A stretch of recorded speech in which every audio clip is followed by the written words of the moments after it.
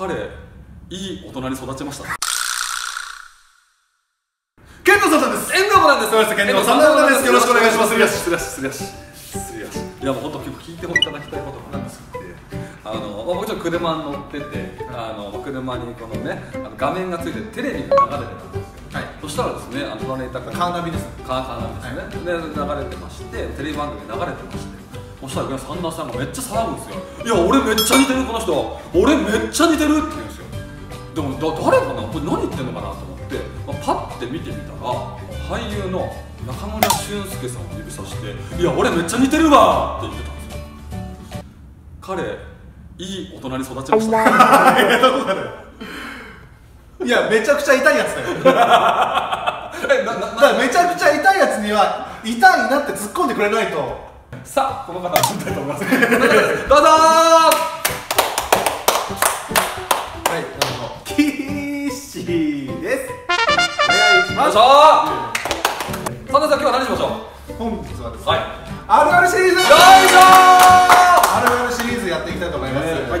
本日はね何編ですか？よ本日は大会編。いしょということでねあのぜひこれはもう経験したことあるなって方が多いあると思いますよ。はい。頑張っていきたいと思います。はい。それでは参りましょう、えー、剣道あるあるはじめ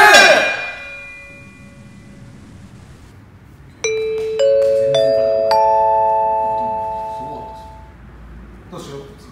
しようあ、ままだまだまだ。まだいやてかさっきのさでもさ面あれ入ってたよね。いやでもあれ絶対入ってたよな。僕の角度から見て連絡します。決勝トーナメント1回戦は第1試合から第2試合場に変更となります。5分後に開始しま俺これあれ？俺たちですよ。えー、じゃあ俺俺たちですよ。あれ？俺俺らこれ俺ら。あれ？確認して。はい、すみません、すみません。え、あれ、ちょっと、あれ、え、あれ、あれ、あれ、後ろに。色赤赤赤、赤。赤、赤。え白？白、白。赤じゃない？ちょっと、わかんないわかんない。せ先方です、先方です。え、ちょっと、あ、ちょおいなな今のそれ一体あ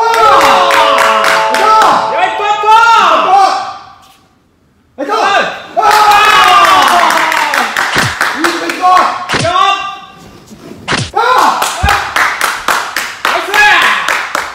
はいありがとうございました。僕あの試合上なかなかいけない雰囲気。一番好き。あるあるっしょ一番好き。僕も下手したらダントツ1位になるからね。はい。ねあの狭い会場とかやってああいうこと本当に起きますからね。あと試合場の変更なんかもさ、本当にあるよね。本当にある。あんな慌てるかねっていうか慌てるよね。そんな5分後ですみたいな感じ。全然全然。えもう準備でき次第とか全然ありますから。はい。もうこれは分かっていただけるんじゃないかなと思いますので、はい。ね、えー以上、あれでした。どうもありがとうございました。ありがとうございました